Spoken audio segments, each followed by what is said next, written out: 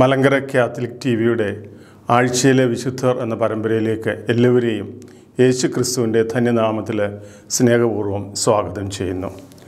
ഓരോ ആഴ്ചയിലും സഭ പ്രത്യേകമായി തിരുനാൾ ആഘോഷിക്കുന്ന ചില വിശുദ്ധരെയാണല്ലോ ഈ പരമ്പരയിലൂടെ നാം പരിചയപ്പെടുന്നത്. ഈ നവംബർ പതിനഞ്ചിന് മഹാനായ വിശുദ്ധ ആൽബർട്ട് തിരുനാൾ സഭ ആഘോഷിക്കുന്നു.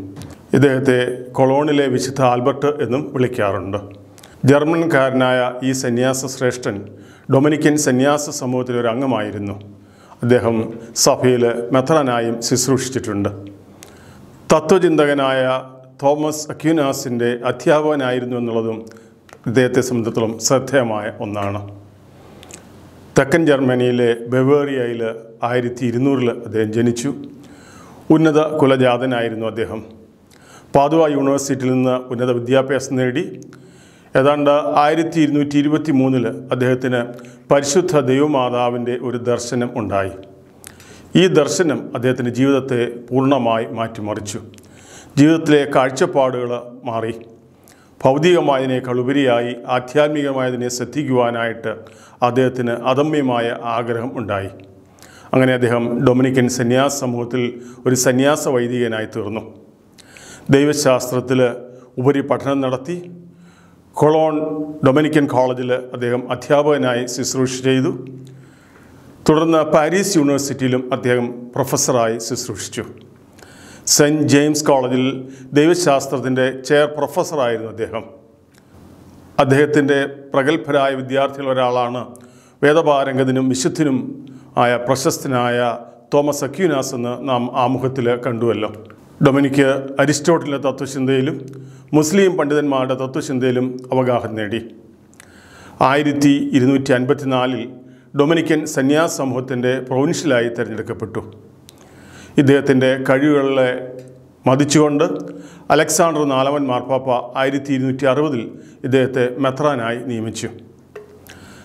മെത്രാനായതിനു ശേഷവും തന്റെ സന്യാസ നിഷ്ഠകൾ മുടക്കം കൂടാതെ കൃത്യമായി അദ്ദേഹം നിർവഹിച്ചു. അക്കാലത്ത് സാധാരണയായി മെത്രാൻമാർ സഞ്ചരിച്ചിരുന്നത് കുതിരപ്പുറത്ത് ആയിരുന്നു. എന്നാൽ മെത്രാന് ശേഷവും ഇദ്ദേഹം കാൽനടയായി തന്നെ യാത്ര ചെയ്തു. തന്റെ സന്യാസ ജീവിതക്രമവും മെത്രാനെടുത്ത ജീവിതവും പൊരുത്തപ്പെടുന്നില്ല എന്ന് കണ്ടുകൊണ്ട് ആയിരത്തി ഇരുന്നൂറ്റി അറുപത്തി മൂന്നിൽ അദ്ദേഹം മെത്രാൻ സ്ഥാനം രാജിവെച്ചു. വിവാദങ്ങളും കലഹങ്ങളും അവസാനിപ്പിക്കുന്നതിന് ഒരു പ്രത്യേക ചാതുര്യം അദ്ദേഹത്തിനുണ്ടായിരുന്നു. ഒരു നല്ല മധ്യസ്ഥൻ എന്ന പേര് അദ്ദേഹം നേടി. ആയിരത്തി ഇരുന്നൂറ്റി എൺപത് നവംബർ പതിനഞ്ചിന് ദിവംഗതനായി. തത്വശാസ്ത്രം ഭൂമിശാസ്ത്രം ജ്യോതിശാസ്ത്രം നിയമം തുടങ്ങിയ വിഷയങ്ങളിൽ മുപ്പതിലധികം ആധികാരിക പുസ്തകങ്ങൾ അദ്ദേഹം രചിച്ചു. പരിശുദ്ധ റുബാനയോടുള്ള അദ്ദേഹത്തിന്റെ ഭക്തി പ്രത്യേകം ശ്രദ്ധേയമാണ്. ആയിരത്തി തൊള്ളായിരത്തി മുപ്പത്തൊന്നിൽ പയസ് പതിനൊന്നാമൻ മാർപ്പാപ്പ ഇദ്ദേഹത്തിനെ വിശുദ്ധനായി പ്രഖ്യാപിച്ചു. ശാസ്ത്രജ്ഞന്മാരുടെ മധ്യസ്ഥനായാണ് ഇദ്ദേഹത്തെ സഭ പ്രത്യേകമായി ആദരിക്കുന്നത്. ഈ പണ്ഡിതനും ശ്രേഷ്ഠനുമായ സന്യാസ ശ്രേഷ്ഠൻ നമുക്കൊത്തിരി പാഠങ്ങൾ തരുന്നുണ്ട്. ഏറ്റവും വലിയ പണ്ഡിതനായിരുന്നിട്ടും ഒരു യൂണിവേഴ്സിറ്റിയുടെ ചെയർ പ്രൊഫസർ ആയിരുന്നിട്ടും ഏറ്റവും എളിയ ജീവിതം നയിച്ചു. സ്ഥാനമാനങ്ങൾക്കൊപ്പം പോകാതെ തന്റെ വിളിയോട് അദ്ദേഹം വിശ്വസ്തത കാണിച്ചു. തന്റെ ശുശ്രൂഷയ്ക്ക് തടസ്സമായതിനൊക്കെ ഉപേക്ഷിക്കുന്നതിന് അദ്ദേഹത്തിന് യാതൊരു മടിയും ഉണ്ടായിരുന്നില്ല. തന്റെ ശിഷ്യസമ്പത്തിൽ അഭിമാനിക്കുകയും അവരുടെ നേട്ടങ്ങളിൽ ശ്ലാഘിക്കുകയും ചെയ്തു. നാം പ്രത്യേകമായി ശ്രദ്ധിക്കുന്ന ഒരു കാര്യം തോമസ് അക്യൂനാസിന്റെ മരണത്തിന് ശേഷം അദ്ദേഹത്തിന്റെ തത്വങ്ങളുടെ സംരക്ഷകനായി ഇദ്ദേഹം അറിയപ്പെട്ടു എന്നുള്ളതാണ്. ഈ പുണ്യവാൻ നമ്മൾക്ക് തരുന്ന ഈ വലിയ മാതൃക. ബൗദ്ധികമായി ഉയരുമ്പോഴും ദൈവത്തോട് ചേർന്ന് നിൽക്കുവാനായിട്ട് ദൈവ ശുശ്രൂഷയിലെ സന്തോഷം കണ്ടെത്തുവാനായിട്ട് ഈ പുണ്യവാൻ നമ്മളെ ആഹ്വാനം ചെയ്യുന്നു. നവംബർ പതിനാറിന് മഹാവിശുദ്ധിയായ ജത്രുദിന തിരുനാളാണ് നാം ആഘോഷിക്കുന്നത്. ഒരു ജർമ്മൻ ബെനഡിക്റ്റിൻ സന്യാസിനിയായിരുന്നു. ഒരു മിസ്റ്റിക് ആയിരുന്നു ജത്രുദ് ആയിരത്തി ഇരുന്നൂറ്റി അമ്പത്തി ആറിൽ ജനിച്ചു. നാലാം വയസ്സിൽ ഒരു സന്യാസ ഭവനം നടത്തുന്ന വിദ്യാലയത്തിൽ വിദ്യാഭ്യാസത്തിന് ചേർന്നു.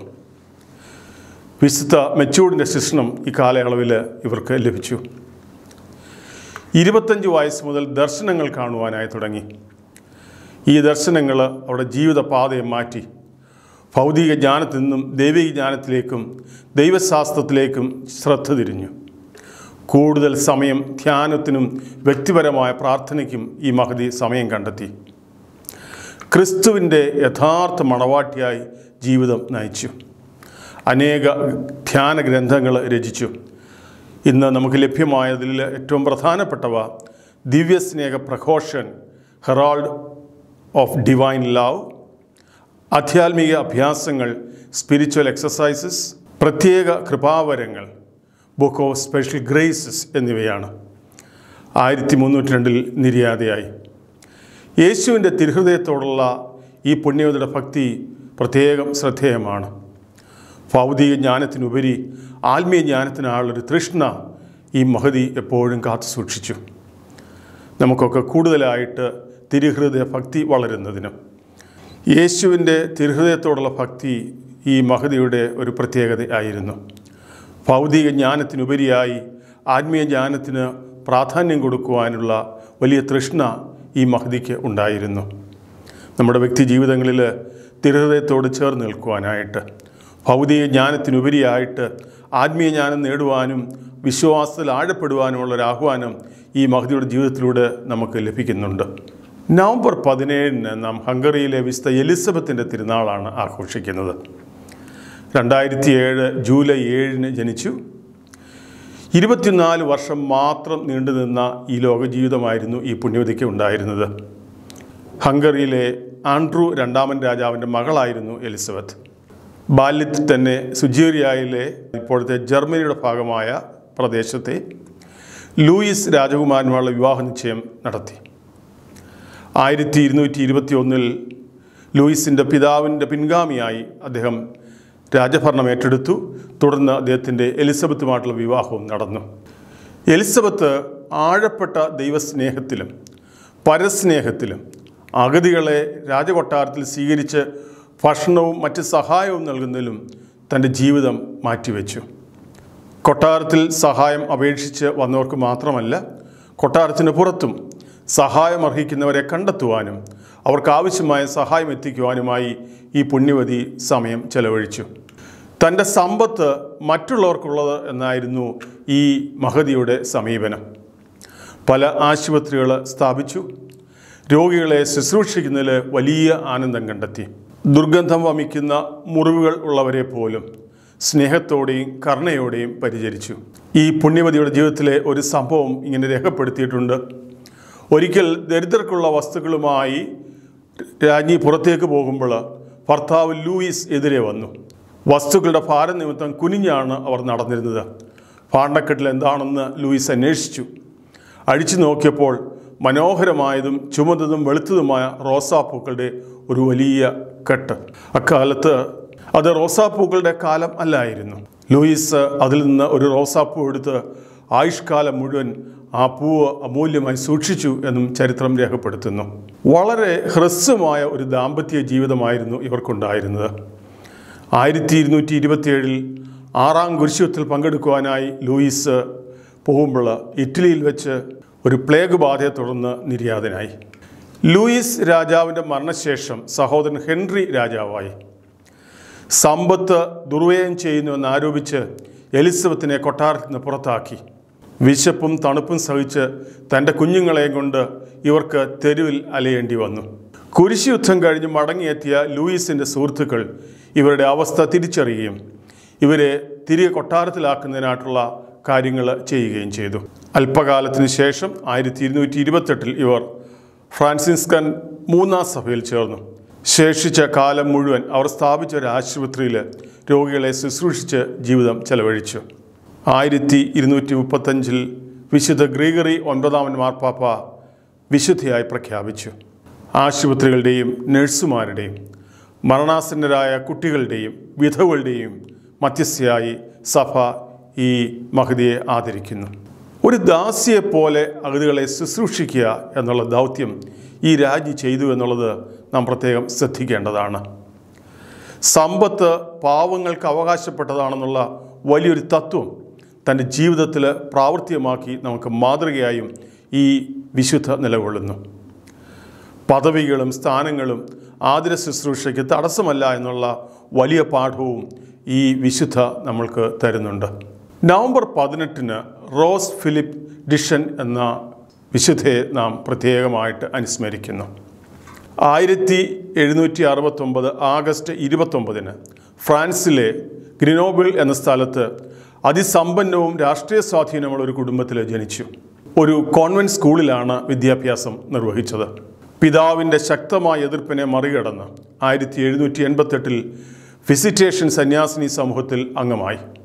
ഫ്രഞ്ച് വിപ്ലവത്തിന്റെ കാലഘട്ടത്തിൽ ഫ്രാൻസിലെ കോൺവെന്റുകളും സഭാസ്ഥാപനങ്ങളും എല്ലാം വിപ്ലവകാരികൾ പിടിച്ചെടുത്തു. അങ്ങനെ ഇവരുടെ കോൺവെന്റും വിപ്ലവകാരികൾ പിടിച്ചെടുക്കുകയും അവിടെയുള്ള അന്തേവാസികളെ മുഴുവൻ പുറത്താക്കുകയും ചെയ്തു. ആ കോൺവെന്റ് ഒരു പട്ടാള ക്യാമ്പും ജയിലുമാക്കി മാറ്റി. തുടർന്നുള്ള ഏതാണ്ട് ഒൻപത് വർഷം ഈ വിശുദ്ധ കോൺവെന്റിന് പുറത്ത് ഉപവിപ്രവർത്തനങ്ങൾ നടത്തി. തന്റെ സന്യാസ ഭവനത്തെ പുനരുദ്ധരിക്കുവാനുള്ള ശ്രമങ്ങൾ പരാജയപ്പെട്ടപ്പോൾ പുതുതായി രൂപം കൊണ്ട തിരുഹൃദയത്തിന്റെ സമൂഹം സൊസൈറ്റി ഓഫ് സേക്രഡ് ഹാർട്ടിൽ അംഗമായി. ആയിരത്തി എണ്ണൂറ്റി പതിനെട്ടിൽ മറ്റ് നാല് സന്യാസികളോടൊപ്പം അമേരിക്കയിലെ മിസിസിപ്പി പ്രദേശത്ത് മിഷൻ വേലയ്ക്കായി പോയി. അവിടെ വിദ്യാലയങ്ങൾ ബോർഡിങ്ങുകൾ അനാഥമന്ദിരങ്ങൾ എന്നിവ സ്ഥാപിച്ചു.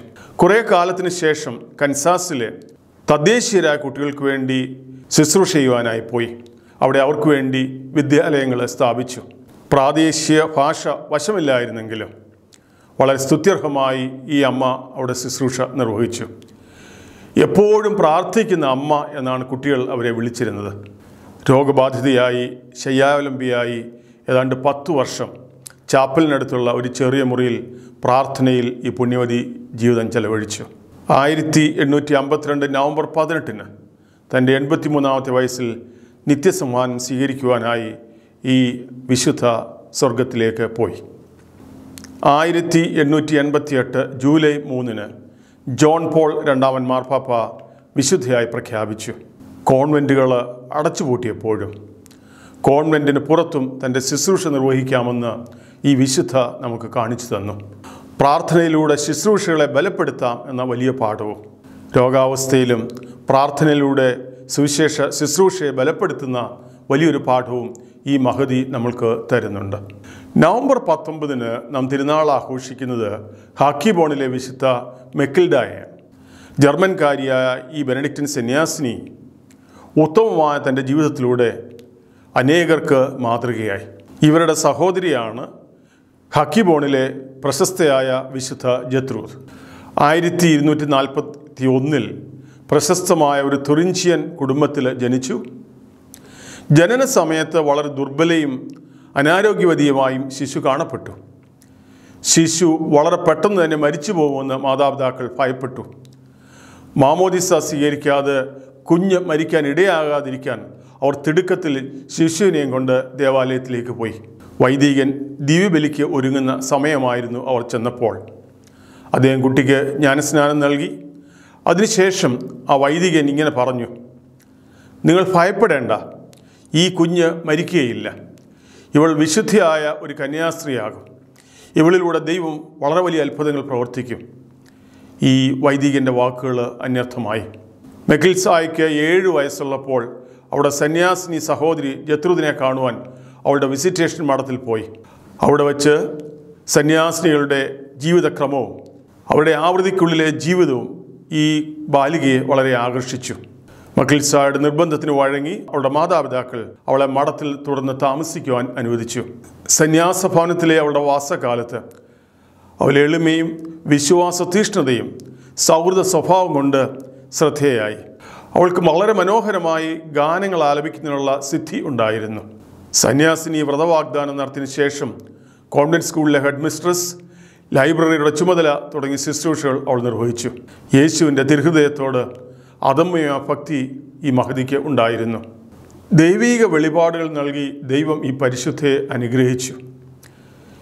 ഈ വെളിപാടുകൾ അവളൊരു പുസ്തകത്തിൽ രേഖപ്പെടുത്തി അതിന് അന്ന് വെളിപാടുകളുടെ പുസ്തകം എന്നാണ് അറിഞ്ഞത്. മെക്കിൾസയുടെ മരണശേഷം സഹോദരി മിസ്റ്റർ ജത്രൂത്ത് ഇത് പുസ്തക രൂപത്തിൽ പ്രസിദ്ധീകരിച്ചു. ഈ പുസ്തകം പ്രത്യേക കൃപാവരത്തിന്റെ പുസ്തകം എന്ന പേരിൽ അറിയപ്പെടുന്നു. ആയിരത്തി ഇരുന്നൂറ്റി തൊണ്ണൂറ്റൊന്ന് നവംബർ പത്തൊമ്പതിന് നിര്യാതയായി. തിരുഹൃദയത്തോടുള്ള അളവറ്റ ഭക്തി. എളിമയോടുകൂടിയുള്ള പ്രവർത്തനങ്ങൾ. വിശ്വാസത്തിൽ കറപുരളാത്ത തീഷ്ണത പെരുമാറ്റത്തിൽ സൗമ്യത ഇതെല്ലാം മാതൃകാപരമായ ഒരു ജീവിതമായിരുന്നു എന്നുള്ളതിന്റെ സാക്ഷ്യമാണ്. ഈ പുണ്യവതിയുടെ എളിമയും വിശ്വാസത്തിലെ തീഷ്ണതയും തിരുഹൃദയത്തോടുള്ള അദമ്യമായ ഭക്തിയും നമുക്കും പ്രചോദനം ആകട്ടെ. നവംബർ ഇരുപതിന് വിശുദ്ധ എഡ്മണ്ട് രാജാവിന്റെ തിരുനാളാണ് തിരുസഭ കൊണ്ടാടുന്നത്. ഇപ്പോൾ ഇംഗ്ലണ്ടിന്റെ ഭാഗമായ കിഴക്കൻ അഞ്ചീനിയായിലെ രക്തസാക്ഷിയായ ഡ- എഡ്മണ്ട് വിശ്വാസ വീരൻ ആയിരുന്നു.